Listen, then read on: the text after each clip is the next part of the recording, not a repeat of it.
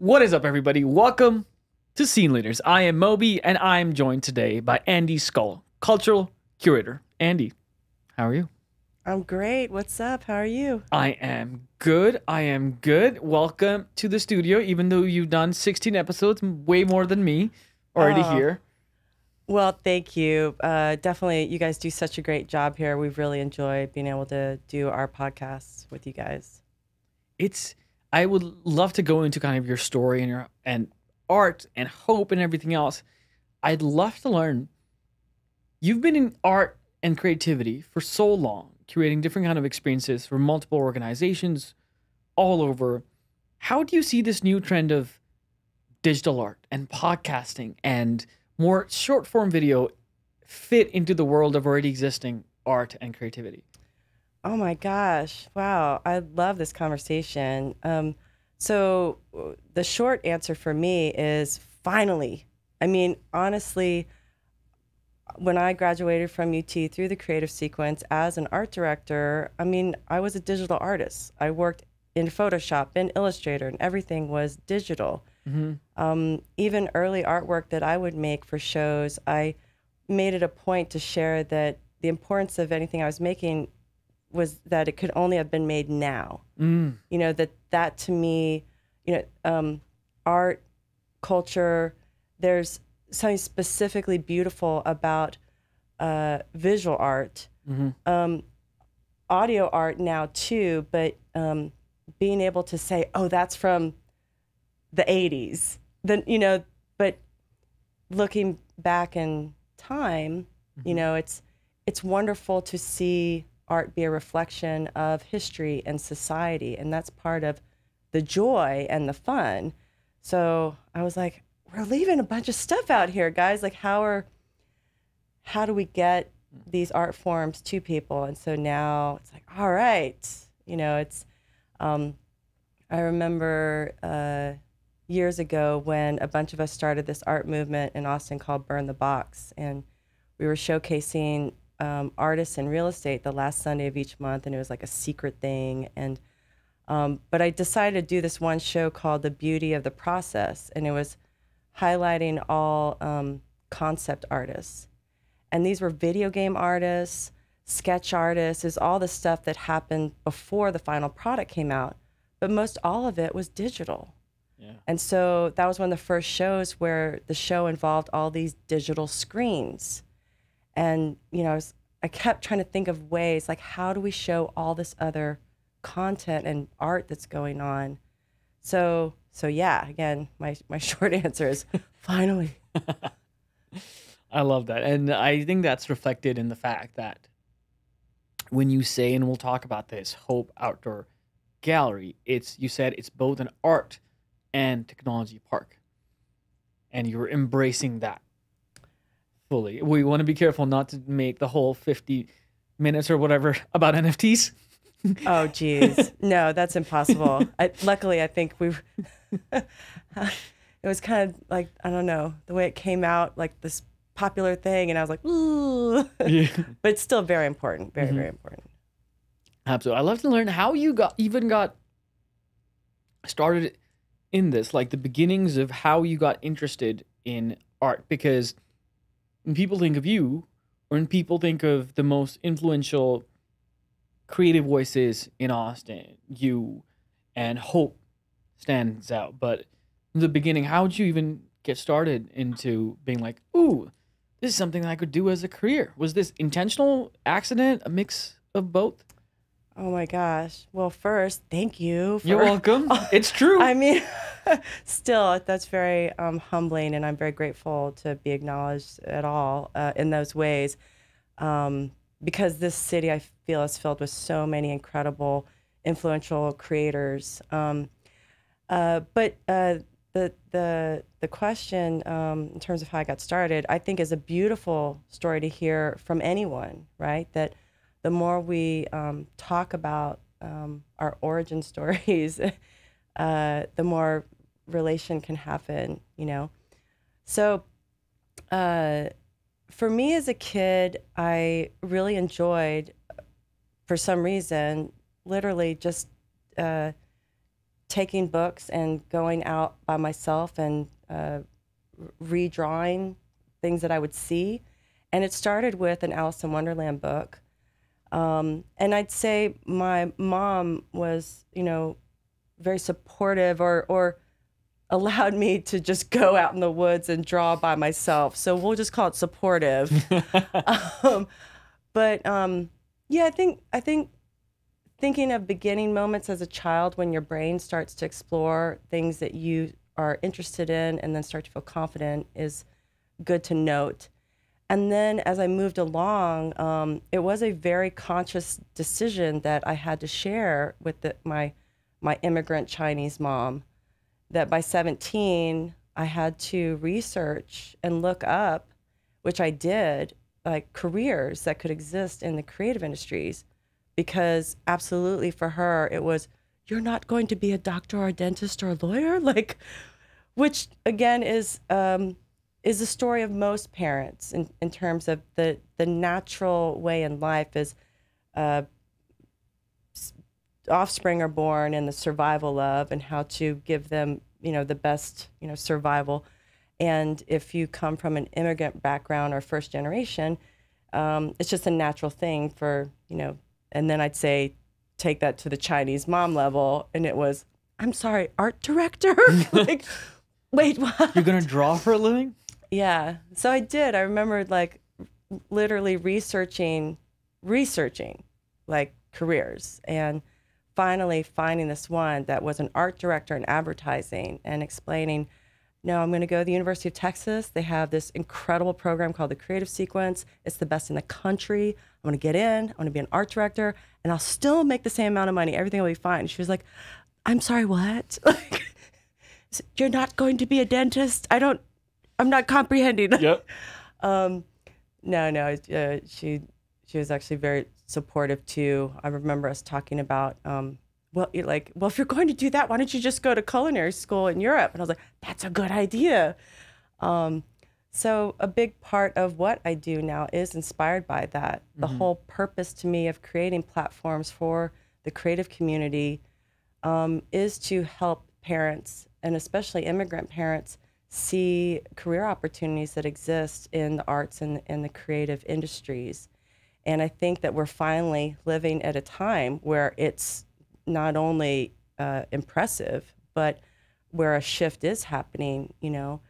Um, and I, I still think there's an importance of a balance, you know, that if your kid is athletic or, you know, finding what it is, that we need all these areas together. Um, but yeah, I mean, if your kid, you know, has creative skills, don't hide their drawings under the bed. Like, get them some more influence. Hundred percent. Where would we be without artists of multiple sorts? Literally. I mean, well, every single thing is created, you know? I mean, even let's say, uh, even a basketball player, someone designed the uniforms. I mean, everything we do in life involves creativity, and um, that's an important part to foster in, in everyone.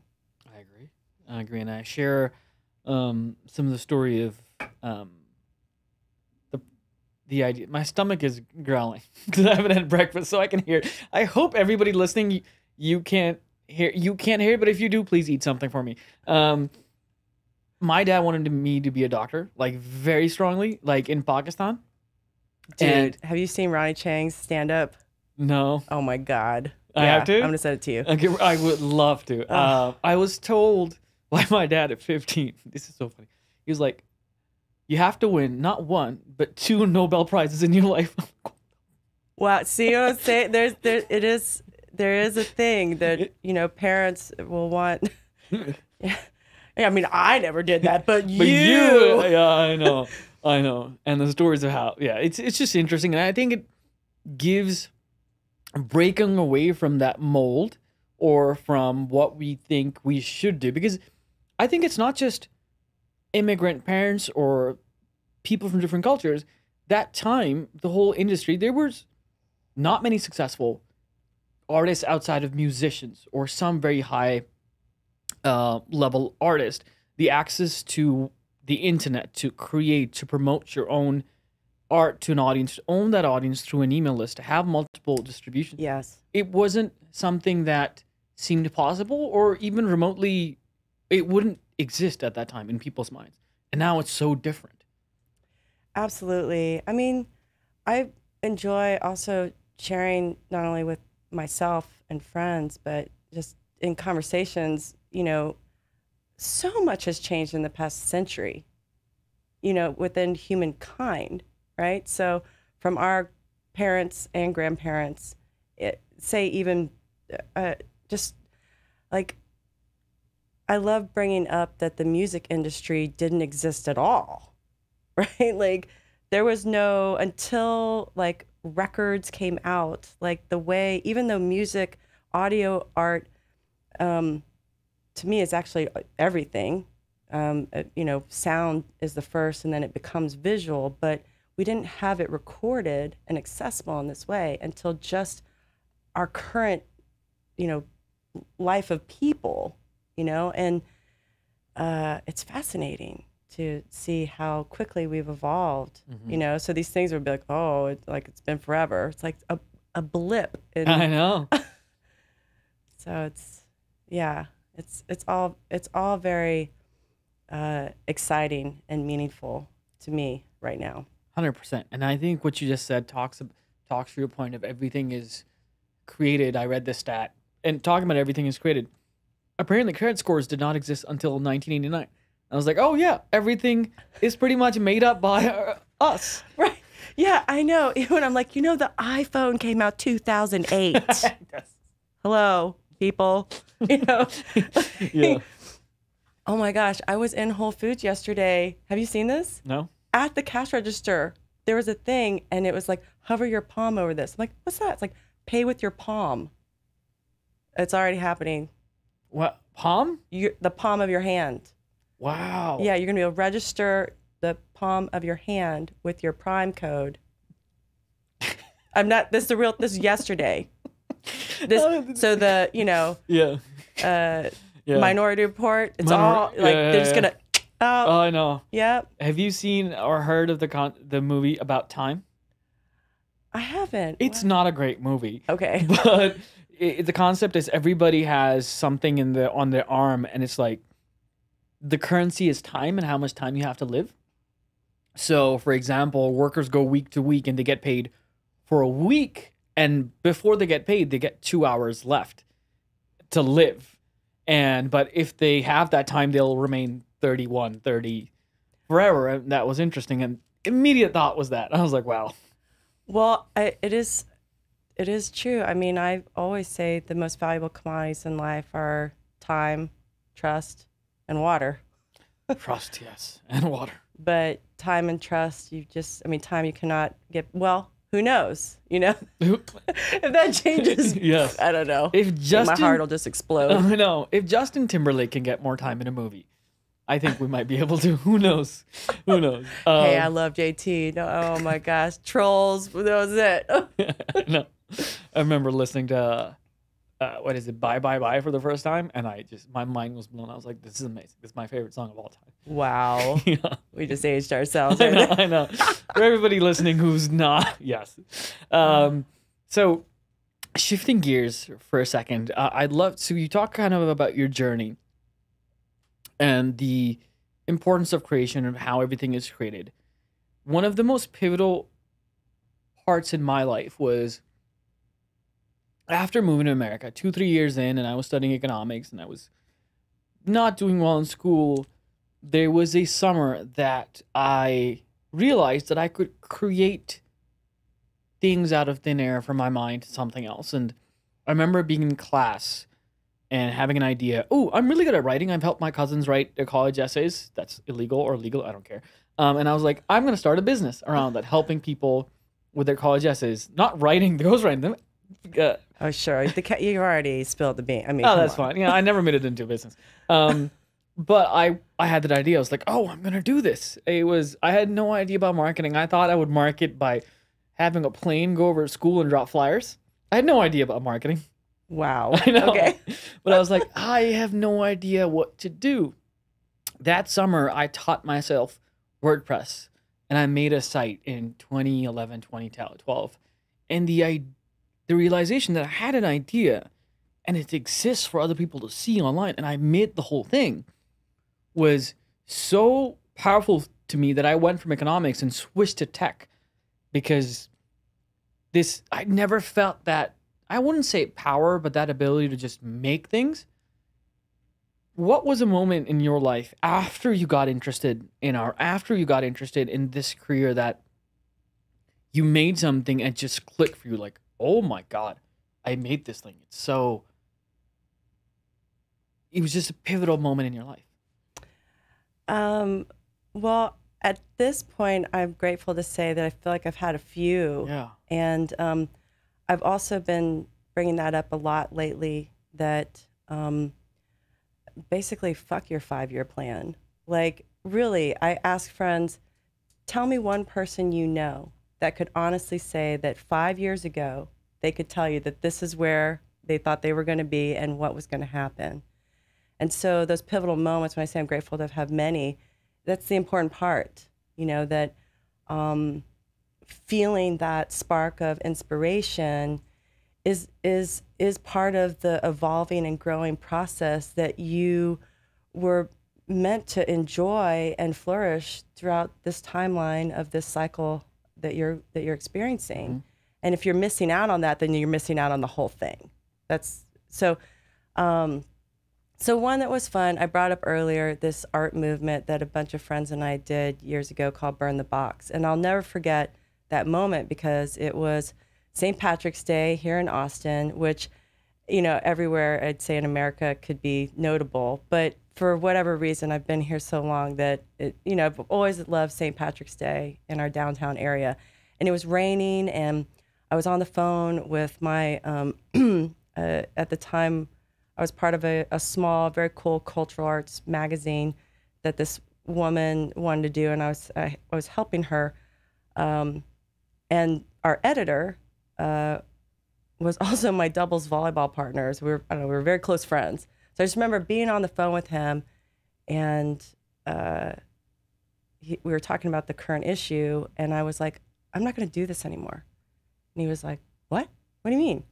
and at the time I was I was a, a graphic artist in film, so I, I, worked on film sets. I had worked in advertising. I mean, I, I I worked for other people. I hadn't really started my own kind of entrepreneurial path. I mm-hmm. I contracted, but um, so yeah, this moment I remember him saying, "What are you going to do?" And I just had this flash moment of seeing me walking into this mansion party earlier that week and feeling like, man, it'd be so cool if I could turn this party more into something about my friends instead of um, being invited to this kind of really upscale, nice party. Uh, because I knew that I that I was asked if I if I had any friends that I wanted to bring, and I was like, I know I want these people to meet each other, but I don't know exactly why. So um, that day on the phone, I told Tony Burns I'm going to start this thing called Burn the Box. And it literally just came to me like that. It wasn't, he was like, What? I'm like, Yeah, I'm going to start showcasing artists in real estate. It just, I just remembered that the mansion was for sale. And I was like, What if it was an art show? And instead, so, so that ends up being 30 months of my life. We did a burn the box the last Sunday of each month for 30 months, and it was a secret art show in a different location, and you didn't know where it was unless you were on my email list. And Evite had just come out, so I actually shut down Evite in the third month of my art shows. Um, I remember getting that email, and Evite was like, uh, "This platform was not designed to hold more than 500 emails." And by the third month, we had 3,000 emails. Um, so, anyway, that's my long story of a, a pivotal mm-hmm. moment where I just remember being like, I can do my own thing. I can, I'm feeling something, a need that's happening, same as you with friends that needed help writing essays. It's like, I have all these friends that make, create, and do beautiful things. And here are my friends that have money and places and events that they need to hire them for. How do I bring them together? and so that's when I realized that creating platforms um, was probably more of my my calling. I love that. Thank you for sharing that story. It anybody listening to this show will think I'm a broken record, but it's so apt. I remember the quote by Steve Jobs where when you look at the past, the the dots connect looking at the past. You're like, "Oh, I can see that from point A I went to point B because that was my journey." But when you're in that moment, especially in a more creative space and in the chaos of creativity and possibility that could go anywhere, your life could change based on one decision and go in a very different tangent for five years. In that moment, the only thing you can see is just the next step. And the rest, who knows what could happen. But looking back, you're like, oh, yeah, that made sense. But in the moment, nope. Absolutely. Absolutely. And, you know, trusting your, your gut and the, the flow is part of the fun and part of the fear and part of living you know and it's not to be it's not i don't consider it gambling or but you have to pay attention and and it, and I, I do think it happens more often than people realize but that's for a reason too you know but when when you're ready and paying attention like go with your gut that's where that saying comes from Yeah, I like that. I would love to hear. So, in your more than 20 years um, doing this, what's a challenge in your journey of change and creativity and doing all these things, being a cultural curator, which is a great term, by the way? Uh, what's a challenge that you had to overcome in your professional life, and how did you do that? I ask to learn more about you and also to share with people who might be going th- through something similar or of the same intensity and just hearing somebody that they know about and admire share about that might be useful to them Oh, well, um, I I do think that the more we all share all kinds of experiences and stories, the more helpful everything is. Um, from motherhood uh, to you know uh, college experiences, you know, so something that I think is helpful for other entrepreneurs was um, when I first realized during um, the, the beginning stages of raising funds for this art park um, that I was just going to have to pull up my bootstraps and do, do as much as I could myself. That the another friend really encouraged me by saying, "You're already doing it." You know that I kept trying to find the right VC group or the right, you know, that I felt they could like I'm I kept I kept putting myself in a little area of, you know, here are the things I'm good at and I need someone else and then as soon as my friend was like, "Yeah, but you're already doing the things that you're trying to find someone that's good at these things, but in the process you're actually already doing it." Does that make sense? Where um so I guess similar to you when you then said you went and learned WordPress or da da da. I mean, essentially, once your your mind sees the vision, your you your words start to become reality. You're already in process. So it was more just kind of letting go. That as I um, just kept moving forward and talking with people, I would I would continue to find those that would be the right fit. But instead, I was kind of sitting there and be like, no, I'm going to find someone that's going to, I'm going to offer them a percent and they will raise all the money for me. And they, you know, but meanwhile, people were like, hey, can, can I invest? My, can I get involved? You know? And I was like, oh yeah, sure. Oh yeah, sure. And my friend's like, you realize you're already, like maybe you don't even need a VC for. I was like, oh, I don't. But that was for my project. So um, anyway, I feel like that's some entrepreneurial advice to um, just let yourself and vision start start to happen and unfold and don't contain yourself.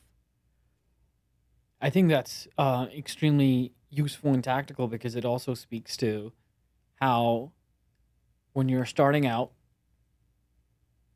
you're kind of the face of the company and you're talking to people and you're started and it's not easy building something at all, especially if you're raising money, if you have different kind of um, things you're doing in it. When you share your message, that's 100% passion that's coming through to those people, and there's a higher likelihood they will buy in. Um, we do get into this thing of if only I had a specialist helping with this, I would be so successful. But the more people we hire, this isn't always true, but it works, which is the passion gets diluted a little bit. Yes, yes. That's so true. Um, and then I just realized another part to that. Um, we really have so many more skill sets and and senses and what I just call superpowers than we give ourselves credit for, not only as individuals but as as a society. Mhm. You know, so what we then start defining in our own mind as like, oh, I can only do this. Um, I feel like sharing with other creatives and entrepreneurs, like, you actually have no idea how much you can do. So for me, that happened after having my first child. And that just was an easy way for me to explain, like, watching my body literally grow another human being and then start producing all kinds of fluids and things that I was like, it just unlocked these like superpowers. Mhm. But I was like, oh, actually, this is how, like, we all are. There's so much more capacity that we just we we've limited ourselves to like the five senses and the, just these things that again were only designed or came up just a few decades ago, right? But what if you were like, no, we actually have eight senses, twelve senses? You know, then you would be like, oh shoot, then I'm actually underperforming, right? Oh Like, yes. like I'm barely doing anything. Like gonna step it up, like figure out these other things, and then you realize you're like, oh my gosh, I can, I can actually do, I can do anything I want. That's and that's the place to get to, and and that also, you don't have to, you know that um, all this to me helps you learn like your space of contentment, and then within that, whatever vision you have that you want to create comes out of joy and sharing and wanting to help or you know it's it's it helps uh, release the ego. There's there's just so much that starts to happen by being like wait a minute. I can i can do more? Hmm like yeah. Yeah you totally you totally can fly. Um, it, uh, what you just said like two minutes ago about life, it made me uh, think of the statement "life is the ultimate creation" because and it ties into our conversation about creating things, but uh, you sharing your journey of motherhood. Be like, oh yeah, life is the ultimate creation. I, I'm not. I mean, I definitely enjoyed growing two human beings. Um, um, I, I did tell my brother as soon as I had my first daughter, if there was a gift I could wrap up and give him, it would be that. I'm like, Yeah. man, being a man sucks. 'Cause, like, you can't do that. yeah, you just can't do it. Um, but uh, yeah, but it, but again, I think going back to ideas and visions and creations, it, it is a, a similar process, and I have found with other artists or creatives, sometimes when we talk, I'm like, oh, you're in the chrysalis. They're like, what? I'm like, well, you're you're in a whole new like you're about to become a butterfly, like, and a part of growth and incubation and birth is that it's hard. It's a struggle and it's painful. Like birth is painful. And it's it's so so sometimes right when it's the most painful, I'm like, oh, you're about to have twins. Like you ever, are you ready? Are you ready? And they're like, what? I'm like, oh yeah. Like there's you've been growing and building something, like something big's about to happen. So um it's a great perspective to understand. Um, not to you know to be unrealistic, but most of the time it's pretty true. Yeah. I would love to see someone's face when they're talking about a creative endeavor and you say that, which is you're about to have twins, then be like, What? Wait, what?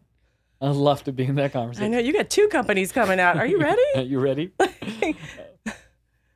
yeah.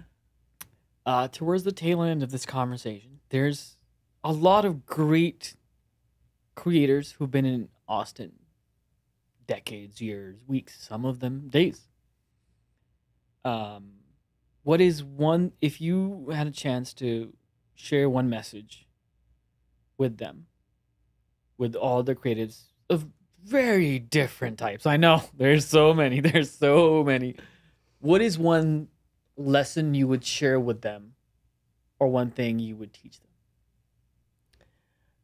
Oh, um, boy. Well, laughter and levity are really my kind of main mantras, uh, especially since COVID. So it would be something along those lines to not take yourself too seriously and really through laughter and levity you can really see how you're you can contribute participate be involved um, yeah. Don't miss out on the fun. That's true. That is true. Reminds me of even if it's hard you can still try to make it funny. That's why people have gallows humor. That's right. You still gotta do it. Might as well make it a little bit better. Yeah. Absolutely. To me that's very much living in the moment. That is very true. Andi thank you so much for joining us today oh my pleasure. Thank you